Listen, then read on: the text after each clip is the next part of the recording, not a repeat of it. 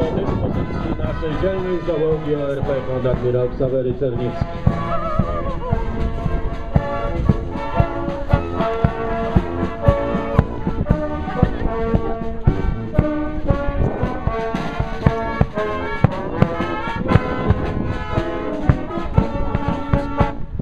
Jak? No tu mi! Tak, na Świnoujście dziecko mi wróciło. Tak jak wcześniej powiedziałem,